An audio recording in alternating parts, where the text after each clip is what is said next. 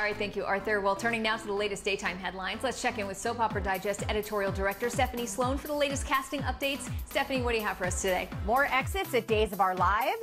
Nadia Bjorlin, who plays Chloe, is leaving the show just shy of marking 20 years since she first joined. Also out is Lucas Adams, who first appeared in 2017 as Trip. All My Children fave Michael E. Knight, who played Tad on and off from 1982 to 2011, has joined the cast of General Hospital in a new super secret role. And General Hospital's Kelly Monaco took to social media to speak out about the exit of Billy Miller revealing that she's heartbroken about the decision, and it's one that she says may not be what the audience thinks to be true. Now, you recently talked with some soap stars, and they opened up to you about who their celebrity crushes are. What can you share with us? Days' Arianne Zucker says Tim McGraw is her number one and has been for years. She actually got to meet him once at an event and said she was so tongue tied that she barely got a few sentences out.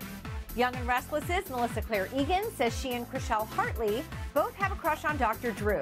They met him once and totally fangirled out. YNR Sasha Calle's crush is John Mayer, and GH's William Lipton says he wants to marry Ariana Grande. And some stars also opened up about some of their firsts while on the job. What did they tell you? Bold and beautiful Scott Clifton says his first friend on the cast was Aaron Spears, who didn't know Scott had already been on General Hospital and One Life to Live, so was explaining to him how soap operas worked. When Aaron learned the truth, he apologized to Scott, who tells us that he was just thankful that someone was being so nice to him and taking him under their wing. Days' as Eric Martsolf says his first social media experience was thanks to Alison Sweeney, who was responsible for him joining Twitter. And YNR's Hunter King tells us her first kiss was with Max Ehrich, who kissed her for real in rehearsal, which surprised her because that hadn't happened on the previous job she had. All right, thank you, Stephanie. For more stories like these, pick up the latest issue of Soap Opera Digest on sale now.